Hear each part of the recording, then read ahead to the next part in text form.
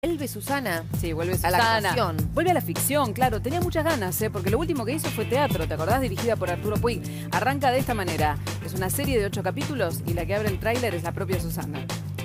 Ahora viene lo mejor.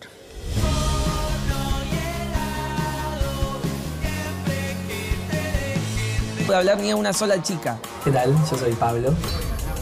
¿Por qué me guiñas un ojo? Se va a ver a partir del 11 de marzo, son ocho capítulos de 30 minutos. Se va a ver en 240 países en una plataforma, lógicamente.